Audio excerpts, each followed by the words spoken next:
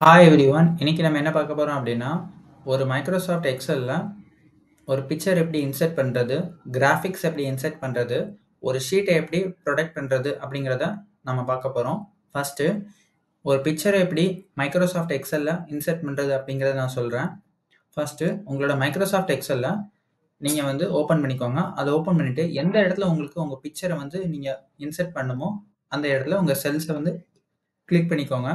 நான் இந்த இடத்துல என்னோடய செல்ஸை நான் கிளிக் பண்ணிக்கிறேன். கிளிக் பண்ணிவிட்டு இந்த இன்சர்ட் அப்படிங்கிற டேபை கிளிக் பண்ணிக்கோங்க. இன்சர்ட்டுங்கிற டேபை கிளிக் பண்ணீங்கன்னா, கீழே வந்து நிறைய ஆப்ஷன்ஸ் இருக்கும். அதில் பிக்சர்ஸை செலக்ட் பண்ணிக்கோங்க. செலக்ட் பண்ணிவிட்டு நீங்கள் பிக்சர் எதுலேருந்து எடுக்க போகிறீங்க ஆன்லைனா? இல்லை இந்த டிவைஸ்லேயே இந்த பிக்சர் இருக்குது அப்படின்னு ஆப்ஷன் கேட்கும். என்னோட பிக்சர் வந்து இந்த டிவைஸில் இருக்குது ஸோ, திஸ் டிவைஸ் அப்படின்னு நான் கொடுத்துக்கிட்டேன் கொடுத்துட்டேன் அப்படின்னா, லொக்கேஷன் கேட்கும். எந்த இடத்துல உங்கள் பிக்சர் இருக்கோ, அதுக்கான லொக்கேஷன் நீங்கள் செலக்ட் பண்ணிவிட்டு அந்த பிக்சரை செலக்ட் பண்ணிட்டு, நீங்க இன்சர்ட் அப்படின்னு கொடுத்துருங்க இன்சர்ட்ன்னு கொடுத்தீங்க அப்படின்னா, உங்க பிக்சர் வந்து இந்த டேப்ல வந்து இந்த எக்ஸல் எக்ஸலில் வந்து இன்சர்ட் ஆயிரும். நான் இதை மினிமைஸ் பண்ணிக்கிறேன்.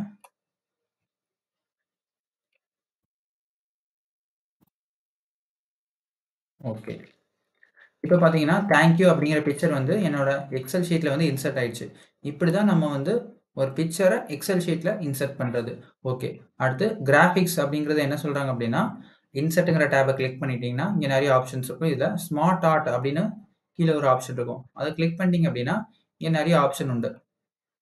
இந்த ஆப்ஷனை கிளிக் பண்ணீங்க அப்படின்னா, இது வந்து த்ரீ டி இமேஜாக உங்களுக்கு வந்து ஆக்ட் ஆகும். ஸோ, இதை நீங்கள் கிளிக் பண்ணிவிட்டு உள்ள வந்து நீங்கள் எதாவது டேட்டா என்டர் பண்ணணும் அப்படின்னா, நீங்கள் என்டர் பண்ணிக்கலாம்.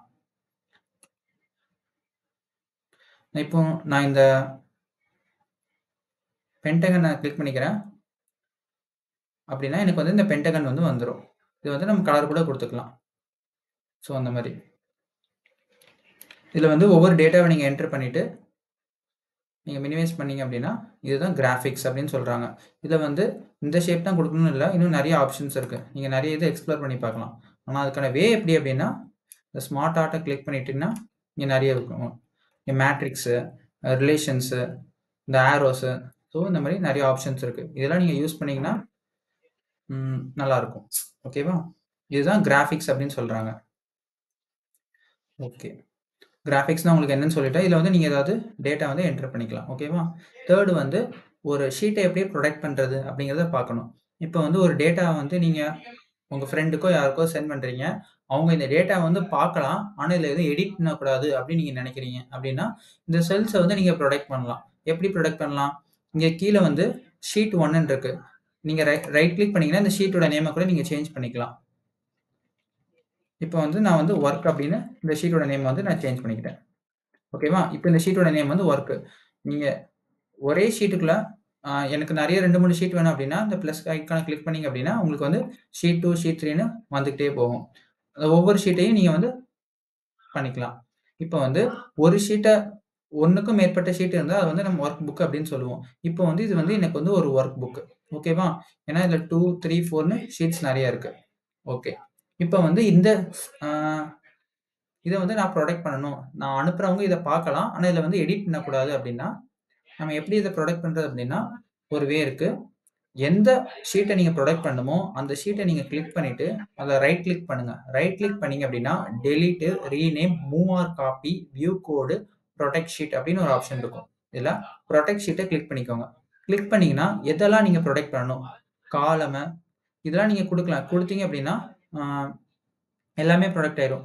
ஃபார்மேட்டட் ரோஸ் அப்படின்னா, ரோஸ் ஃபுல்லாக ப்ரொடெக்ட் ஆயிரும். காலம்ஸ் இதெல்லாம் அவங்க வந்து பண்ணக்கூடாது. டெலிட் ரோஸ் வந்து பண்ணக்கூடாது. டெலிட் காலம்ஸ் பண்ணக்கூடாது. அவங்க எதெல்லாம் பண்ணக்கூடாதோ, அதெல்லாம் நீங்கள் கிளிக் பண்ணிட்டு, நீங்கள் மேலே உங்கள் பாஸ்வேர்டை என்டர் பண்ணணும். இப்போ நான் சிம்பிளாக ஒன் டூ த்ரீ ஃபோர் அப்படின்னு பாஸ்வேர்டு என்டர் பண்ணிவிட்டு நான் ஓகே கொடுக்குறேன் திரும்பியும் அது ரீ என்டர் யுவர் பாஸ்வேர்ட்ன்னு கேட்கும். திரும்படியும் நீங்கள் பாஸ்வேர்டு கொடுத்துட்டு ஓகே கொடுத்தீங்க அப்படின்னா, இந்த ஷீட் வந்து ப்ரொடெக்ட் ஆகிரும் இந்த ஷீட்ல வந்து வேற எந்த டேட்டாவும் யாரும் என்டர் பண்ண முடியாது. அப்படி என்டர் பண்ண முடிஞ்சா, அது வார்னிங் காட்டும். The cell or chart you are trying to change in a protected sheet. இது வந்து ஒரு ப்ரொடெக்டட் ஷீட்டு. ஸோ, உங்களால் எந்த சேஞ்சுமே இதில் பண்ண முடியாது. உங்களுக்கு வேணும்னா நீங்கள் பாஸ்வேர்டு என்டர் பண்ணுங்க அப்படின்னு அது நம்மக்கிட்ட கேட்கும். ஓகேவா? இப்போ இந்த மேலே ஆப்ஷன் பார்த்தீங்கன்னா, எல்லாமே பிளர் ஆயிரும். ஓகேவா? ஆனால் இந்த ஃபார்மெட்டுங்கிற ஆப்ஷன் பிளர் ஆகலை ஏன்னா, இதுக்கு வந்து நான் வந்து ஆப்ஷன் எனேபிள் பண்ணியிருக்கேன். ஆனா என்னால புதுசா ரோவோ, காலமோ இல்ல இந்த டேட்டாவ நான் மாத்துறதோ என்னால பண்ண முடியாது. பண்ணா எனக்கு வந்து வார்னிங் காட்டும். ஓகே. இப்ப என்னோட ஷீட்ட வந்து நான் ப்ரொடெக்ட் பண்ணிட்டேன். இப்ப வந்து அன்ப்ரொடெக்ட் பண்ணணும் அப்டின்னா என்ன பண்றது அப்டின்னா 2 ஆப்ஷன் இருக்கு. ஃபர்ஸ்ட் ஆப்ஷன் அதே வொர்க் புக்ல வந்து ரைட் கிளிக் பண்ணிட்டு அன்ப்ரொடெக்ட் ஷீட் குடுத்துட்டு நம்மளோட பாஸ்வேர்ட என்டர் பண்ணோம் அப்டின்னா, இந்த ஷீட் அன்ப்ரொடெக்ட் ஆயிரும். இப்போ வந்து எனக்கு எல்லா ஆப்ஷனும் மேல எனேபிள் ஆயிடுச்சு. இப்ப எல்லாமே நான் வந்து யூஸ் பண்ணிக்கலாம். ஓகே. திரும்படியும் நான் ப்ரொடெக்ட் பண்ணிட்டு அனதர் வே வந்து எப்டின்னு காட்டுறேன். திரும்படியும் நான் என்னோட ஷீட்ட வந்து நான் ப்ரொடெக்ட் பண்ணிக்கிறேன். திரும்படியும் 1, 2, 3, 4 என்டர். திரும்படியும் 1, 2, 3, 4 என்டர். இப்ப என்னோட ஷீட் வந்து ப்ரொடெக்ட் ஆயிடுச்சு. இப்ப திரும்படியும் அன்ப்ரொடெக்ட் பண்ணா என்ன பண்ணணும்னா, இன்னொரு வே என்ன இருக்குன்னா, இந்த home insert page layout tab இருக்குல்ல, இதுல வந்து ரிவ்யூ அப்டின்னு ஒரு ஆப்ஷன் இருக்கும். அந்த ரிவ்யூ டேப்ல போயிட்டு அன்ப்ரொடெக்ட் ஷீட் அப்டின்னு நீங்க குடுத்துட்டீங்க அப்டின்னா, அது உங்ககிட்ட பாஸ்வேர்ட் கேட்கும். அப்ப நீங்க பாஸ்வேர்ட போட்டு என்டர் பண்ணிட்டீங்க அப்டின்னா, இது திரும்படியும் அன்ப்ரொடெக்ட் ஆயிரும். அன்ப்ரொடெக்ட் ஆயிடுச்சுன்னா, இது வந்து நம்ம டேட்டா வந்து மேனுவலா என்டர் பண்ணிக்கலாம் அப்டி. ஓகேவா?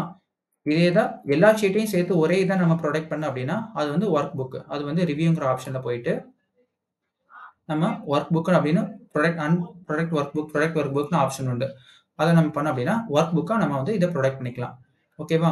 சிம்பிளாக நான் இந்த என்ன சொல்லியிருக்கேன்னா, ஒரு பிக்சர் எப்படி இன்சர்ட் பண்ணுறது இதில் டிசைன் டேப் யூஸ் பண்ணி ஸ்மார்ட் ஆர்ட்டில் வந்து நிறைய ஆப்ஷன் இருக்குது இதை வச்சு நம்ம எப்படி ஒரு டிசைன் கொடுக்கறது அப்படிங்கிறத நான் சொல்லியிருக்கேன். ஆனால் நான் டிசைன் கொடுத்து காட்டலை இப்போலாம் இதில் ஆப்ஷன் இருக்குது இதை நீங்கள் யூஸ் பண்ணி பாருங்க அப்படின்னு நான் சொல்லியிருக்கேன். நெக்ஸ்ட் நான் என்ன சொல்லியிருக்கேன் அப்படின்னா ஒரு ஷீட்டை எப்படி ப்ரொடெக்ட் பண்ணுறது அப்படிங்கிறத நான் உங்களுக்கு சொல்லியிருக்கேன். ஓகேவா? Thank you.